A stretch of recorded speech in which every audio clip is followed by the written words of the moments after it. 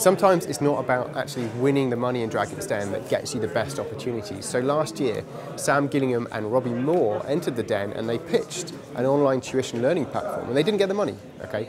But they learned tons during the process, and what they really realised was that they loved the idea of doing a startup.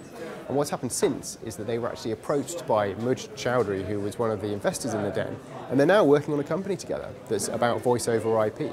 So it doesn't necessarily matter if you get the money on the day. What Dragon's Den does is it unlocks opportunities.